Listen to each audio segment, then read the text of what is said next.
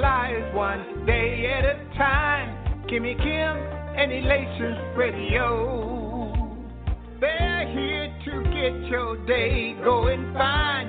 Kimmie Kimm and Elations Radio. Kimmie Kimm and Elations Radio. Kimmie Kimm and Elations Radio. And here's your host, Miss Kim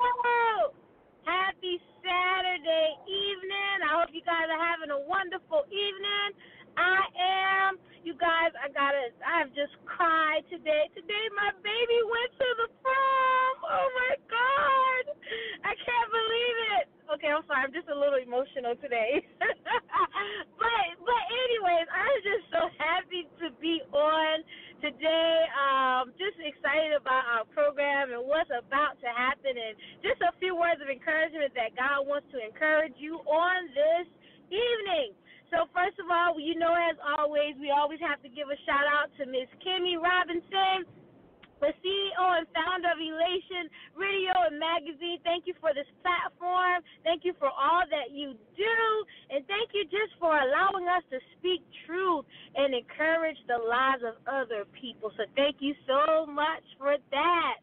So, as always, again, we do open up with the word of prayer we invoke the presence of God. So, Father, we thank you for this evening. We thank you for your spirit. We thank you just for who you are, what you've done, what you are doing, Lord. We thank you, God, that you are working things out in our favor and for our good. And, God, we just honor you and we praise you today. We ask, God, whatever you have to share with your people on this evening, God, that they will receive it, that it will be a blessing to them blessing to their lives, and God, that their lives will never be the same. And we ask you all of these things in Jesus' name. Amen. God, I'm just I'm just so excited. So excited about here being here, so excited about uplifting with Mo and just to encourage you. Oh my God. Sometimes that's all people need, or just words of encouragement. Uh, sometimes we can be going through situations in our lives, and we just, it takes just one word from the Lord to make things okay in our lives. So tonight, that's just what I what I've been hearing God say. He just wanted to encourage you, um, regardless of what you may be dealing with and what you've gone through, that He has not forgotten about you, and He has not forgotten about the promises that He has promised you. And as I was um, getting things together for um, tonight he just kept saying, he said, he's not a man that he shall lie. And he said that the promises of God are yea and amen. So I don't know what you have been standing in need of. I don't know what you've been standing in faith for. Don't know how long it's been. But God is letting you know it is going to happen. It is going to come to pass. And don't let the allow the enemy to make you settle on something less than what God has promised you. So many times when we've been waiting for such a long time, we we want to take the first thing smoking. We want to we want to take the first thing that it seems like uh, a glimpse of the promise. But you know what? God does not want us to have Ishmaels. He wants us to have the actual promise. The promise. And he wants us to know that the promise is available and he, he wants it for us. So he just wants to encourage you tonight not to give up on what He has spoken into your lives. Um, don't give up on what you have been dreaming and hoping and believing God for because it's going to happen. See, God does not operate in time. Amen. God does not operate on time, in time, but he operates on his word. He says his word shall not return to him void, but it shall accomplish what it was sent forth to do. So God God does not sit back and play games with us. When he speaks a word to us and confirms it and, and tells us what he wants us to have, he does not he's not like an Indian giver. You know how sometimes we say people they'll give us something and then they'll take it back. God does not play with our emotions like that whatever he has spoken, whatever he has said, whatever his words are, they are true. Yea and amen means yes. And amen means it's confirmed, it is finished, it is done. There's no more, nothing else you need to add to it. Nothing else you need to add to it. And I I know that in, in life we we can just go through the motions of life and we can go through the things of life. And sometimes even what we're believing God for we tend to put them on the back burner. Or we try to just take them out of our minds and just believe that okay God it's never going to happen. You know I've been waiting 10 years Lord. I've been waiting 5 years Lord.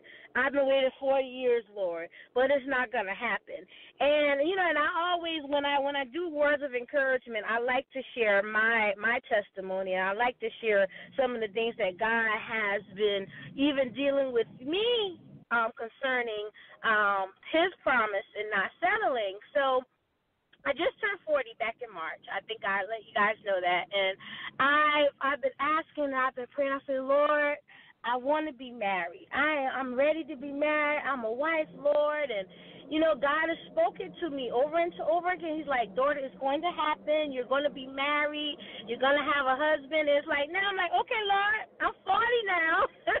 Where the husband at? So, and even even in the midst of me believing God and in the midst of uh, me trusting Him, I do have like it's like I'm in the dating phase now. So it's like sometimes some guys come and they resemble a a glimpse of what I've been believing God for, but it is not the exact thing that God told me that I was going to have. So even sometimes in my own waiting, and when certain certain guys come along, I have to remember that I cannot put my desire above His word. I have to put my desire under his word. His my desire has to be covered under the word of God. Because if I allow my desire to be married or whatever your desire is to be greater than what God has spoken, we will find ourselves walking in error. We will find ourselves getting something and getting into something that God did not ordain for our lives. And what we try to do because we want it so bad I didn't write a book on failed relationships for no reason, you guys, because we wanted so bad. We were trying to dress it up and make it make it seem like it was from God. When the whole time God was saying that no, this is not what I promised you. He does not want us to have forfeited promises. He does not want us to have a, a fake promise. Amen something that we are imagining because our desire to have it so bad and so deep outweighs what God's word is. So, I, so I'm just like, okay, Lord. So He has even been showing me through this dating process, and as certain guys come to my life and come in my life, and it's like, okay, Lord, this may be the one. But then it turns out they're not the one. So when that happens, I have to put my desires on the back burner and say, Lord, I trust you. Lord, I trust you at your word that I am going to receive what you want me to receive. Not what I want, but what you want me to receive. Because it said, the blessings of the Lord maketh us rich, and it addeth no sorrow to it. It added no sorrow to it. So I just I just want to encourage you guys tonight to wait on God. The promise is still coming. And it's gonna come when you least expect it, but it's coming is coming. I don't care if it's a financial breakthrough. I don't care if it is a new job or a husband or a wife or whatever you're waiting for your child to be healed, healing in your own body. Whatever it is, just keep believing God. And and God said in His Word, He said, if you keep your your mind focused, stayed, zoned in on Me, I will keep you in perfect peace. So one way to, to let us know when we begin to start um, doubting God's promises is when we don't have any peace. When we're just so anxious and we're so so stressed out about what we're standing and believing God in, that means we're we're we're not standing on Him anymore. We are allowing that thing to overtake us and to consume us. But if we keep our mind stayed on God, keep our mind stayed on the one that made the promise, he said he's going to keep us in perfect peace, perfected peace. Amen. Amen. So, I mean, God wants us to stay in peace whilst we're waiting for Him. Whilst we are waiting for Him, you know, we can still enjoy life. We can still have have a good time, even as we're waiting on the promises of God. But God just wants us to stay focused on Him, not to waver, not to settle, but just know that He is with us. He is with us. He's not left us. He has not forsaken us. He has not said that, oh, you can't have it. It's not going to happen. Those are the plans of the enemy. That's what the enemy is telling you. The enemy is trying to, to convince us that we have to receive something that's less than God's best. No, we do not. No, we do not. Even in society, we feel that sometimes the enemy will come and make us feel that we have to compromise, compromise our beliefs, compromise our values to get the promise. No, no, no, no, no, no, no. All we have to do is stand on the word of God. For the word of God is a sure foundation. Hallelujah. Hallelujah. The word of God is a sure foundation. And I want to share this with you as well, because um, I do believe that sometimes in transparency, when we be when we are able to be transparent with others, then that's how people can be blessed by our testimony. And even with um, and I'm going to talk about relationships right now because that that's one of the areas that God deals with me the most and he allows me to minister to people the most. But even in in past relationships, I thought I had to compromise my values of giving up my body right? I want you guys to hear me. Giving up my body to the man that said he was going to always love me and he was going to marry me and, you know, we just going to have three kids and, you know, our lives going to be all good and dandy. So after I compromised my values, knowing that's not what God was telling me to do, but I felt that I had to do it to keep this man, what ended up happening was the man went off and married somebody else. So when I'm telling you that we don't have to compromise our values but stand on the firm footing and foundation of God's word because God's word never changes. So what like with God like God thank you, Lord. God is not a man that he is going to lie, right? So I'm not saying that the the guys that I that I was with in relationships that I I gave my body to, I had sex with, that they were lying, but it wasn't a firm foundation. Hallelujah. It was not a firm foundation. So sometimes when we want something so bad, we when we begin to compromise the word of God, when we begin to compromise what God has already instructed and told us to do based on the firm foundation and footing of his word, and we go, begin to go on that shaky ground, that's when we begin to sink. That's when we begin to lose our footing. That's we that's when we begin to move out of the way of the promises of God. Hallelujah. But God is telling us, and I don't, I don't even know who this may be for tonight, but God is telling us to stay firm on His word. Stay firm on His word. Hallelujah. His word will bring you through. Not only will His word bring you through, His word is going to bring you to. it's going to bring you to what you have been asking and praying about. No other way is, is it going to come but through God's word. Yeah, if, if sometimes if we try to circumvent God's word and do things our way, we will get what we want, but we won't get the promise. I hope you guys are hearing me. It's it's, it's more than us just getting um it's it's more than us just getting something that is like an image or something that is a resemblance of the promise. Hallelujah.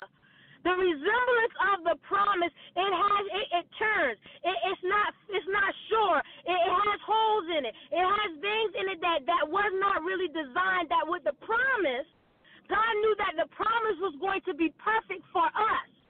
Amen. And that's what God wants us to have.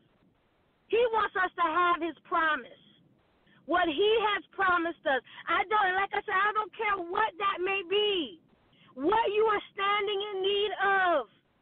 Some of some of you may be standing in need of God, I need a job. God, I'm waiting and trusting and believing you for this new job, Lord. But you may have been waiting for a couple of and it just seems like nothing has been coming through. But something may come and it may resemble the thing that God has told you to, the, that you are going to have, and you will be so anxious to take it. But something on the in, on the inside of you is going to be telling you this is not it.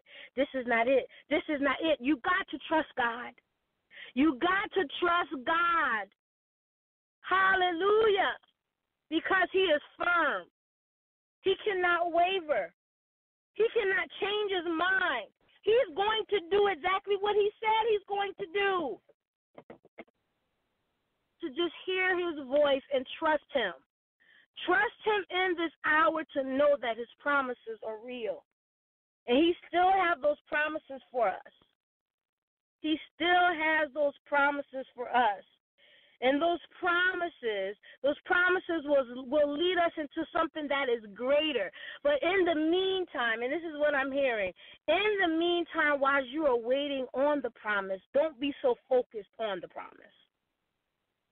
Because when we begin to focus so much on what we want, we lose sight of what we need to be doing at the very moment.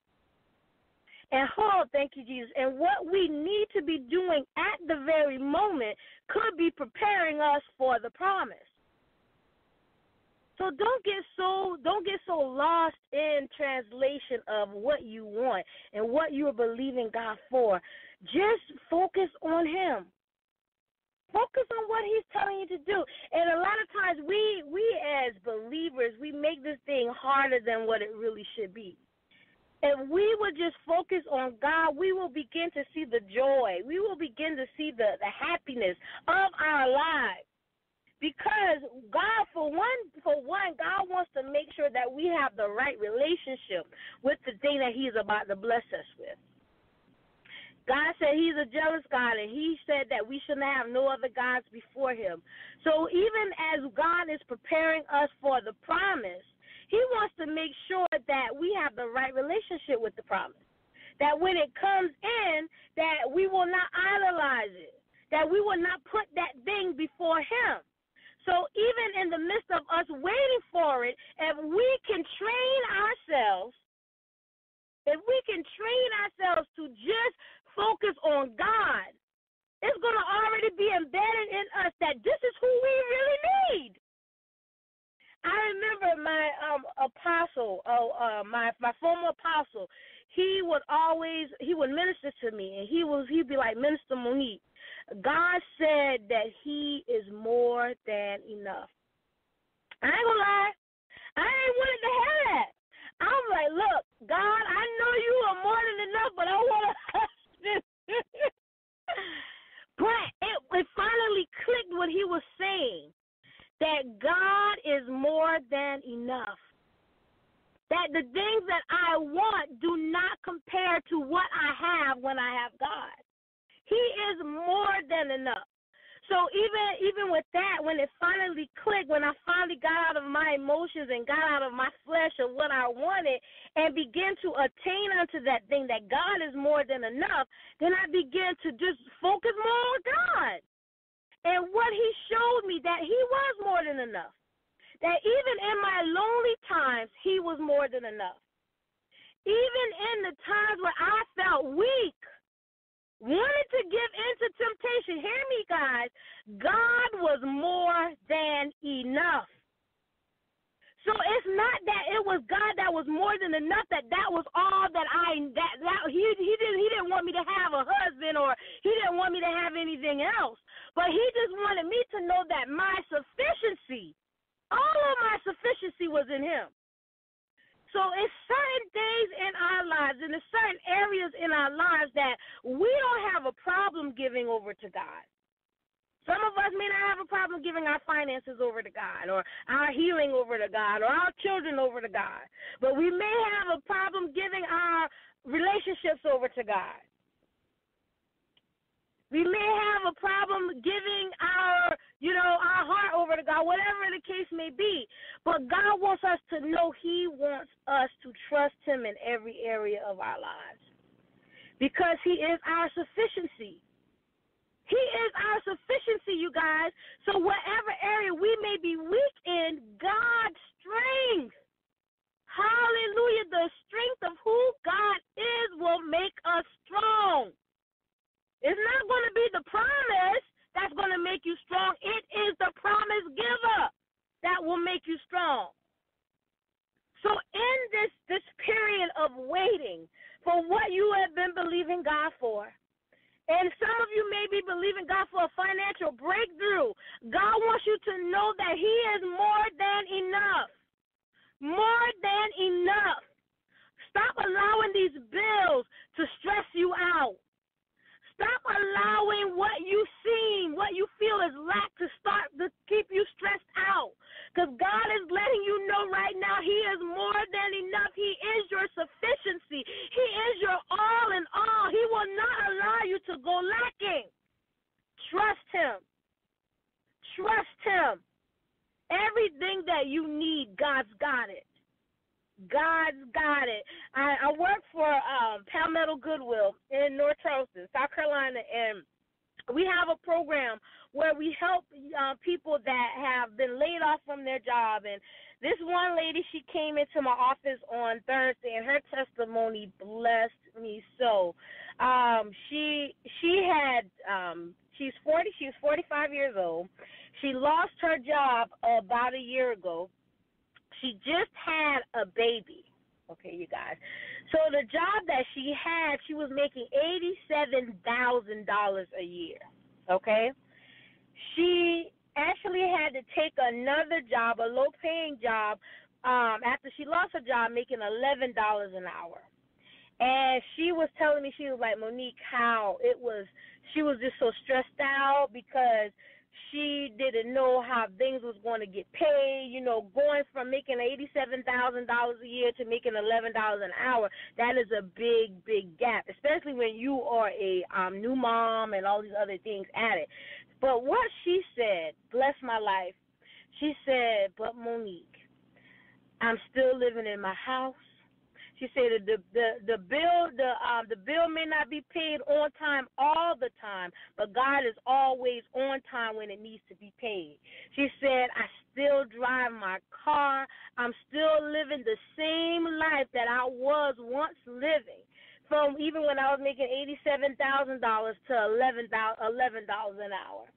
Now, if that does not go to prove that God was her sufficiency, I don't know what else is. I don't know what else is.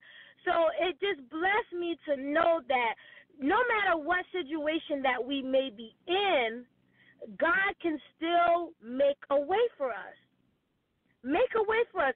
If you have some issues with your flesh, like you know, with temptation, God can strengthen you in that area. But we have to give that to God. We have to give those needs. We got to give those feelings. We got to give those wants over to God. And He will prove to us. He said, Prove to me. Prove me now.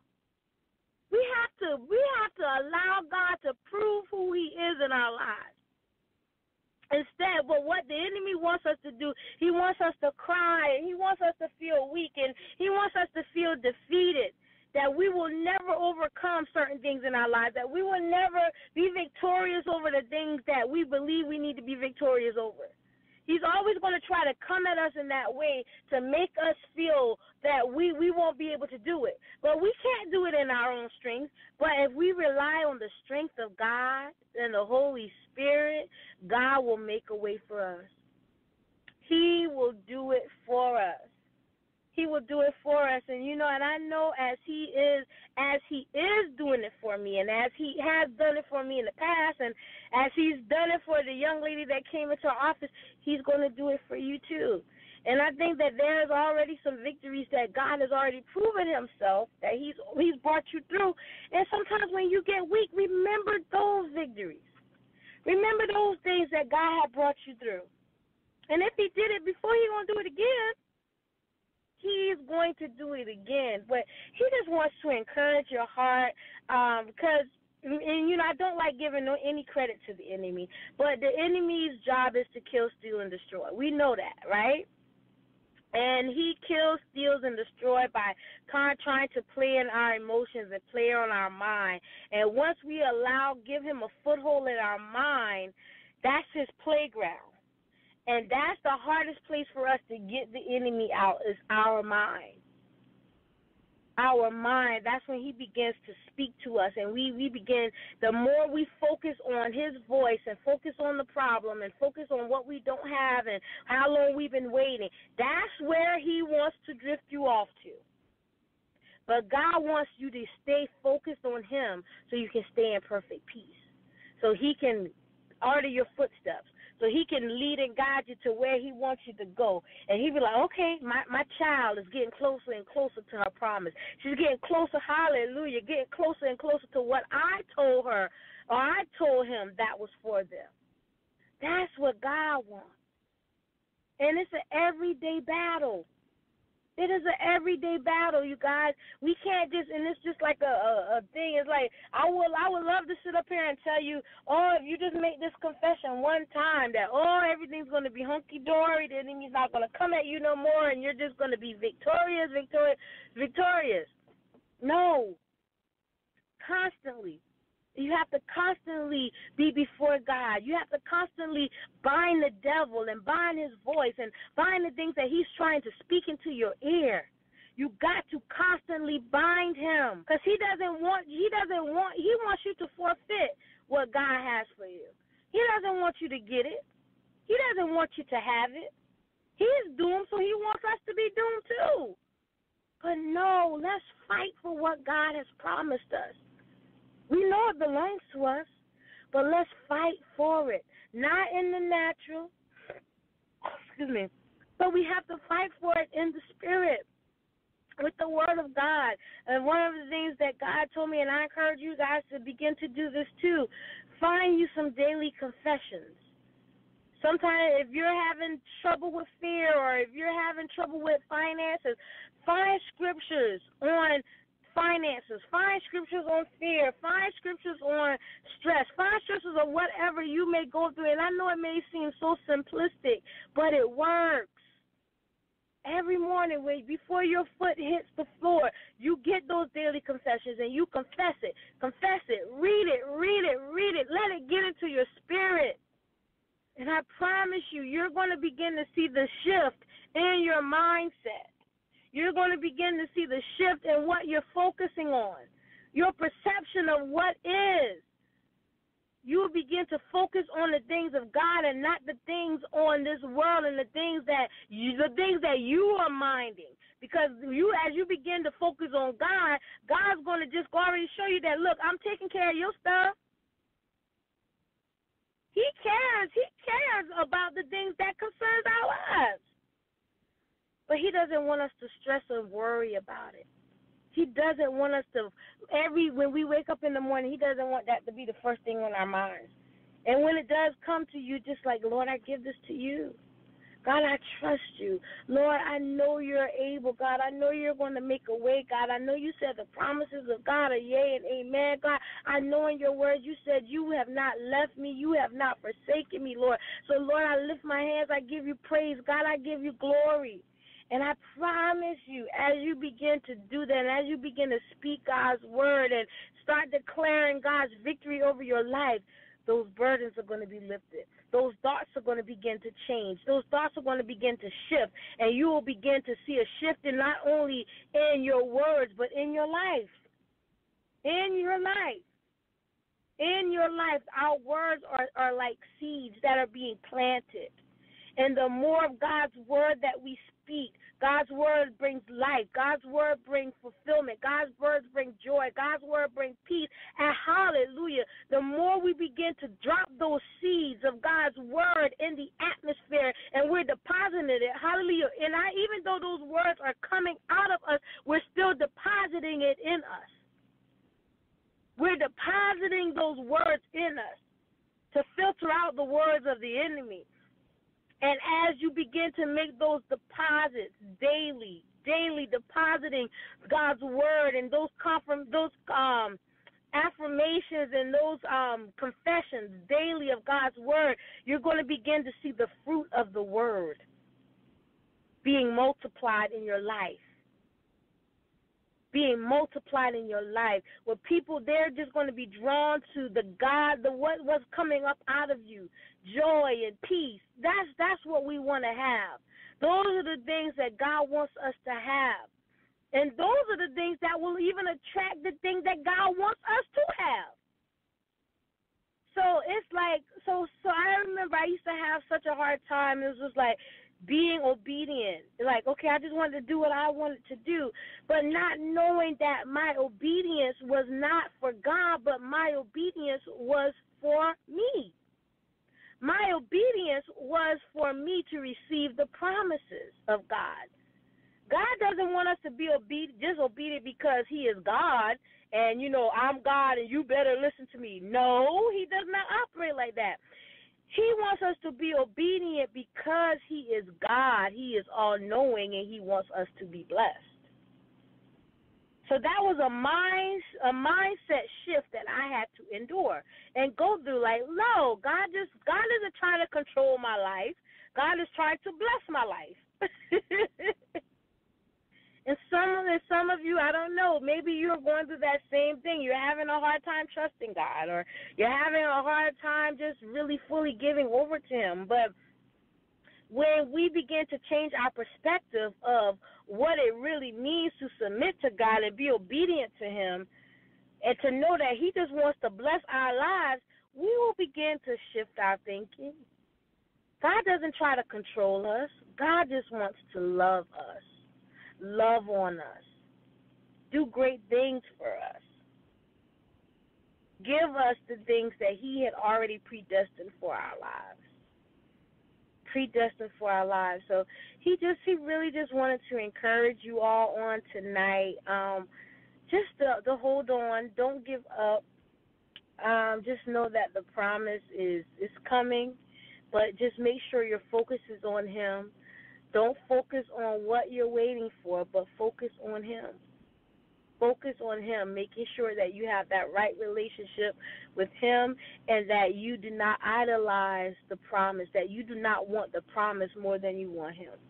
Because He is more than enough. God is definitely more than enough. Well, you guys, I like I said, I just wanted to get on for a little while this is uplifted with Mo. So I just wanted to uplift and encourage you on tonight, and just to let you know that God cares for you. God has your best interest at heart. He has not forgotten, and He has some great things in store for you. He really does have some great things in store for you. So we're going to pray. Uh, Father, we just thank you for this evening.